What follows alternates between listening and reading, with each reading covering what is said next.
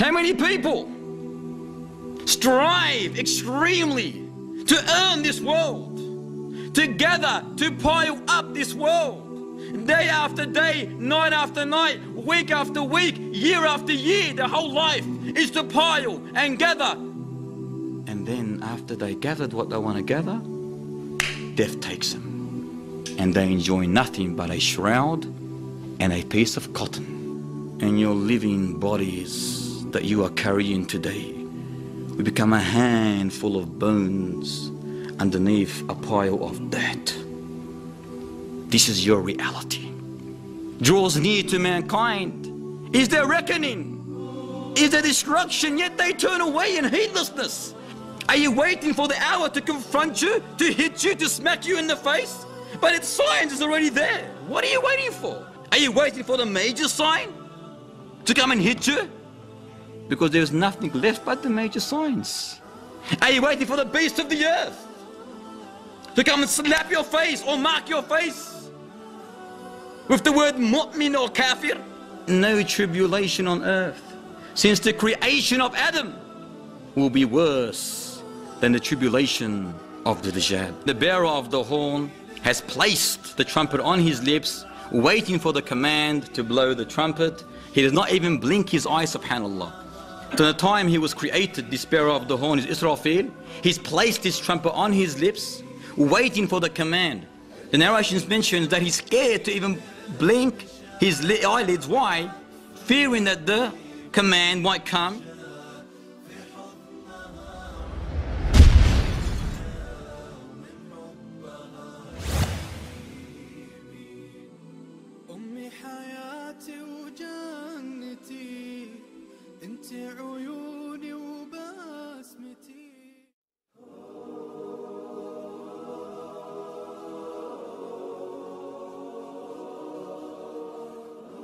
We praise the Almighty Lord for blessing us with this deen, the deen of Islam. We praise the Almighty Lord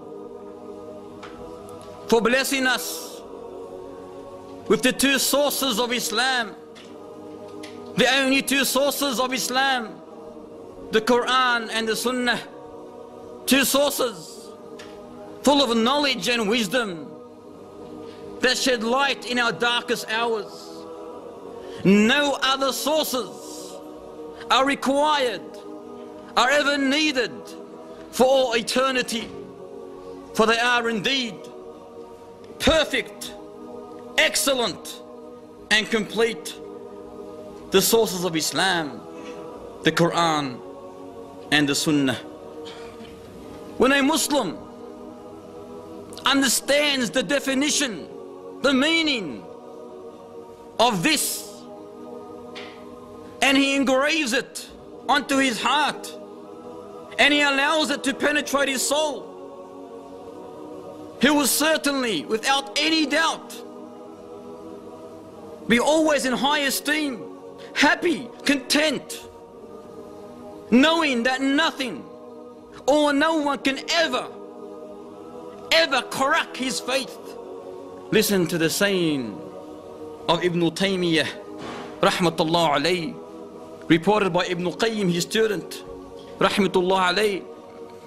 He said that Ibn Taymiyyah mentioned, What can my enemies do to me?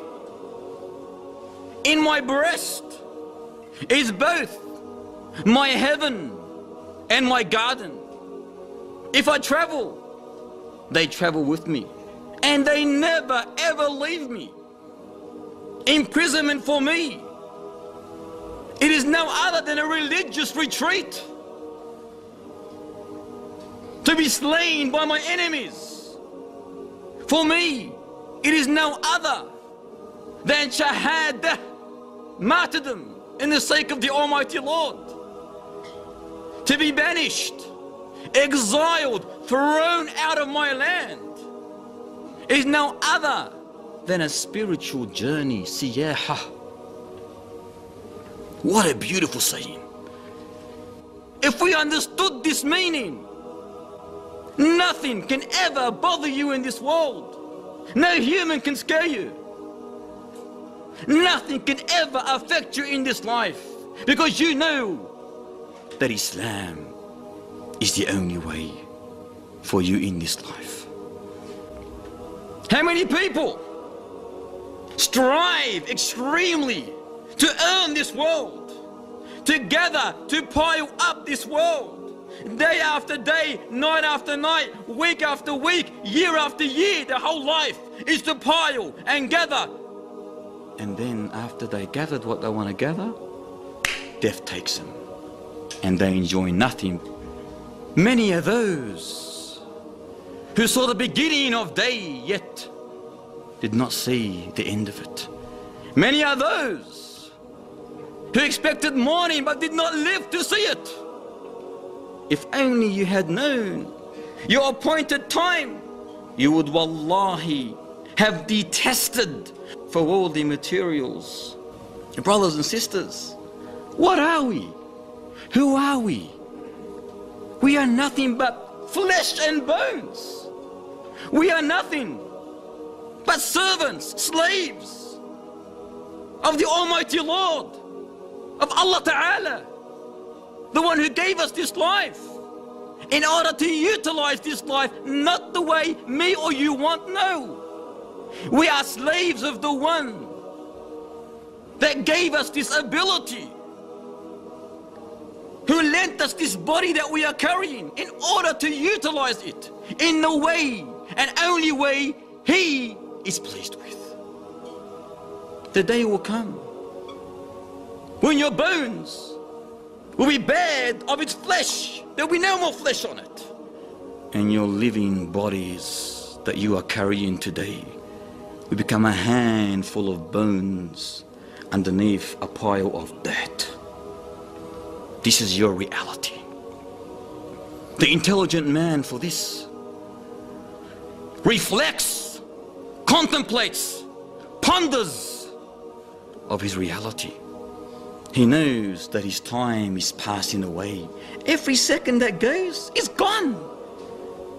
But it will be registered in your record, either for or against you. Our time is melting away, just like a block or cube of ice. But the intelligent man knows and believes that his real success, his only salvation, is to do all the acts that will remove him from the severe punishment of hellfire and thus admit him into eternal bliss of paradise. Isn't this what we want? Isn't this what we're striving for? Only Allah Ta'ala knows our time, dear brothers and sisters. Only the Almighty Lord knows when the hour will come